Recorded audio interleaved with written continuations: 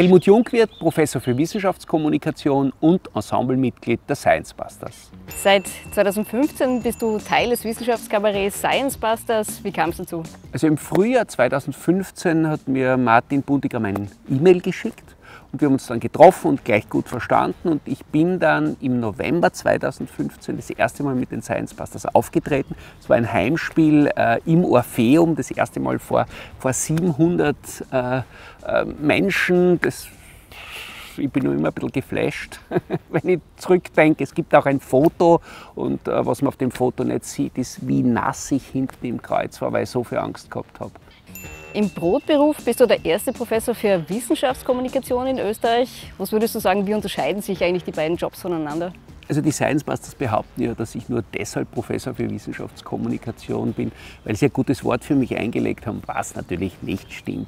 Äh, ich finde, es ist eine perfekte Kombination, das ergänzt sich sehr gut. Wir machen ja beiden Wissenschaftskommunikation und für mich sind die Science Busters so ein bisschen eine Spielwiese, wo ich das ausprobieren kann, äh, was ich dann auch auf der Uni oder bei den Lehrveranstaltungen umsetzen kann.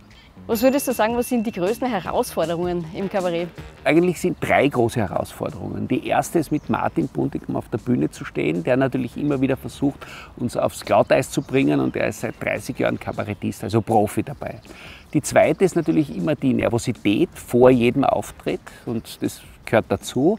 Und die dritte ist, äh, die wissenschaftlichen Themen so herunterzubrechen, äh, dass sie einfach und verständlich sind, aber äh, dass wir natürlich nach der Show auch ein Gespräch haben. Das heißt, wir wollen ja auch, dass das Publikum zu uns kommt und uns Fragen stellt, die wir dann hoffentlich auch gut beantworten. Du hast in dem Bereich schon einige Erfahrungen gesammelt. Aus deiner Einschätzung, kann man auf Knopfdruck lustig sein? Nein. Also ich kann nicht auf Knopfdruck lustig sein und äh, bei den Science Busters ist es ganz klar so, dass wir eine Rollenverteilung haben.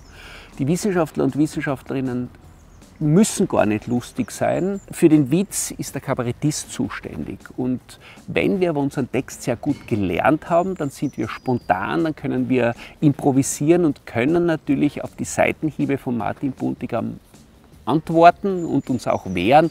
Und dann ist es manchmal ganz lustig. Live erleben kann man die Science Busters beim Alumni-Tag am 21. Oktober 2023. Worauf darf sich das Publikum freuen? Also ich bin natürlich mit dabei in drei Funktionen. Erstens als Vorstandsmitglied von Alumni Uni Graz, dann zweitens, weil ich natürlich privat dort bin und meinen Sohn mitnehme. Und drittens äh, bin ich mit Martin Buntigam auf der Bühne und äh, wir werden dann ein bisschen was äh, vom Forschungsbereich äh, der Uni Graz vorstellen. Was werde ich noch nicht verraten.